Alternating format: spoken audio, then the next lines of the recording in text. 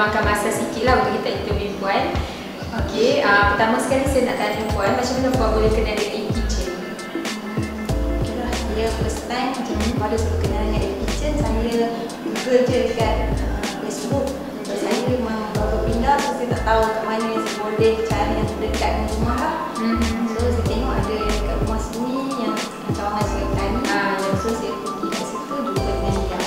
Oh, dengan dia Okey, uh, kiranya sebelum ni ada tak lagi selain e-kitchen lah ada tak survey untuk uh, apa nak buat uh, company lain lah untuk nak kitchen cabinet?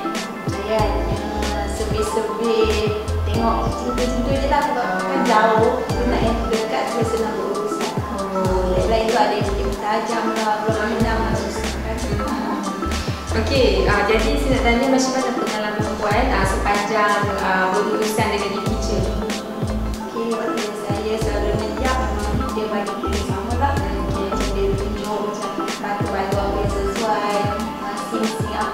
sesuai banyak yang dia kenal lah yang macam mana warna semua lah semua dia tunjuk ajar Okey, dari segi harga pula macam mana? Uh, puan nak spend banyak tu memang keluarkan banyak tu ke ataupun macam mana?